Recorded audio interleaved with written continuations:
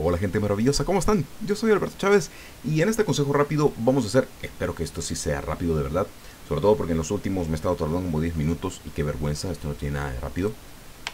Vamos a ver algo sencillo, muy muy muy sencillo, pero extremadamente útil en Inkscape, como se dará cuenta. Lo primero que vamos a hacer es, vamos a crear un rectángulo amarillito para que, es más, vamos a hacer rojo pasión y lo vamos a convertir en un, en un trayecto control shift C y es exactamente lo mismo que decir path object to path. Si se da cuenta aquí está control shift C lo que acabo de seleccionar. Ahora voy a acercar para que usted vea esta X ¿sí? cuando yo selecciono por primera vez me salen este tipo de flechas ¿sí? esto es para que yo modifique el tamaño del objeto. Me imagino que esto ya lo sabe. Si no pues se lo explico rápidamente. Esto es arriba y abajo, a un lado y a otro, y de esquina a esquina. Ya, bueno, las esquinas pues que eh, modifican arriba y abajo de una sola vez. Ahora, lo que me interesa es, damos clic, ¿sí? Y cuando damos clic, nos sale, las, eh, en los centros de cada uno de los lados, nos salen estas flechas arriba y abajo. Esto es, para hacer lo que se conoce, se conoce como skew. Y esto es para rotar. Las esquinas son para rotar. Ahora, cuando yo hago esto, cuando yo roto, y esto es de lo que quiero hablar, cuando yo roto, usted se da cuenta, roto con base a mi centro, a dónde se encuentra mi centro, el centro del objeto. El centro del objeto está delimitado por esta cruz. Vamos a acercarnos un poquito más.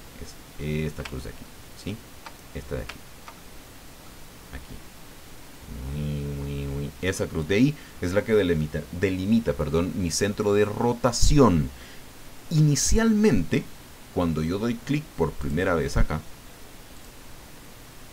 va a estar en el centro de mi objeto. Es decir, mi centro de rotación va a estar en el centro de mi objeto. Pero yo puedo cambiar eso.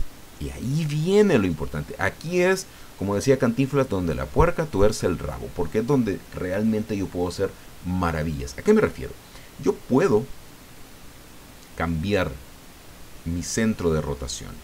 Y puedo traerlo, digamos, a una esquina. Digamos, a esa esquina de ahí. ¿Qué va a hacer esto? Me voy a alejar. Cuando, digamos, yo voy a rotar en el otro extremo. Vea que estamos en la esquina inferior derecha. Me voy a venir a la esquina superior izquierda y voy a rotar. Antes rotaba con respecto al centro del objeto, porque ahí estaba mi centro de rotación. Ahora, ah, maravilloso. ¿Qué pasa si yo hago esto? Ah, si hago esto, donde sea, donde sea que yo rote, voy a rotar con base a mi centro de rotación. ¿Lo movemos? Claro, movámoslo. Digamos que lo ponemos que lo ponemos ahí. ¿Qué va a pasar cuando yo rote? Exacto, lo que usted se está imaginando. Va a rotar con base al centro inferior del objeto. ¿Eh? Ah, maravilloso, ¿no le parece? Ahora, esto, así de, primas a primeras, puede parecer muy trivial, pero no lo es. ¿Por qué? Vea, vamos a crear una, una imagen cualquiera vamos a hacer digamos esto y ahora vamos a venir y voy a rotar con base a mi centro de rotación va a estar en la esquina inferior derecha ¿sí? ¿por qué me podría interesar a mí? ok, digamos que duplico con control D acabo de duplicar y roto control para hacer rotaciones de grados específicos. ¿Qué dice? Le cambiamos el color, por supuesto. Control D y roto. ¿Le cambiamos el color? Claro. Control D y roto. Y le cambiamos el color. ¿Qué tal? ¿Qué significa esto?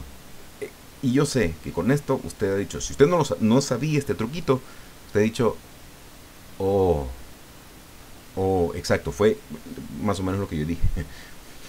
Tal vez un poco menos, menos elegante, pero fue, fue, digamos, en resumen, esa la expresión. Nos quedamos acá. Este es el consejo rápido. ¿Cómo cambiar el centro de rotación de los objetos? Así de fácil. Mueva la crucita a donde usted quiera que se encuentre ese centro de rotación y haga maravillas. Yo soy Alberto Chávez. Como siempre, recuerde, si es usted nuevo o nueva aquí, bienvenido, bienvenida. Gracias por sintonizarse. Eh, si le ha gustado, si le ha servido, pues dele like, suscríbase, compártalo. Es importantísimo compartir el conocimiento. No hay nada más maravilloso que compartir el conocimiento. También, si me quiere seguir en las redes sociales, pues no tiene más que seguir las direcciones que va a encontrar en la descripción de este video, aquí abajito, y también en el post del blog. Mi blog personal de diseño libre, así se llama por cierto, diseño libre, es aguatemala 2, 2 en números.blogspot.com. Finalmente, si se quiere convertir en mi benefactor y pues ayudarme a que siga haciendo este tipo de videos, este tipo de contenidos, pues me puede ayudar a través de mi cuenta de Patreon. Esto es www.patreon.com pleca a Guatemala. Le da clic a ese maravilloso botón rojo que dice Become Patron y pues usted va a dar una serie de datos para que me esté contribuyendo pues de una forma eh, mensual a,